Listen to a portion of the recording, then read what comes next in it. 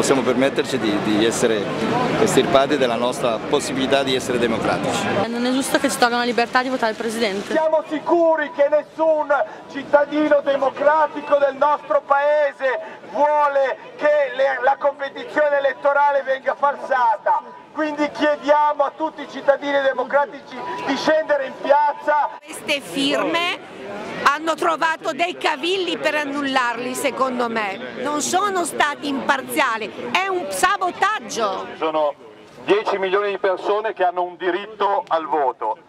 Questa è la priorità su tutto e su tutti, quindi per quanto ci riguarda non solo a Milano ma in tutta la Lombardia siamo presenti in queste ore, in questi minuti perché se la sinistra deve vincere, vinca nelle urne e su questo terreno la sfidiamo. Nessuno ci negherà il diritto di andare a votare e di scegliere i nostri rappresentanti. Ora e sempre, governo Presidente!